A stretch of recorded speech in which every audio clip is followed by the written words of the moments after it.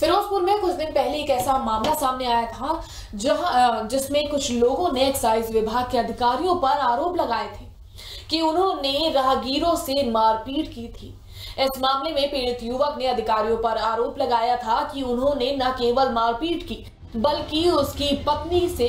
Rape करने की भी कोशिश की थी। इस मामले पर प्राइम टीवी ने जब पड़ताल की तो पूरी सच्चाई सामने आई। जाँच में पता चला है कि एक्साइज और पुलिस के अधिकारियों ने मारपीट नहीं की थी बल्कि गाँव के ही लोगों ने एक्साइज विभाग की टीम को दौड़ा लिया था तस्वीरों में आप साफ़ देख सकते हैं कि किस तरह गाँव के लोग मारपीट कर रहे हैं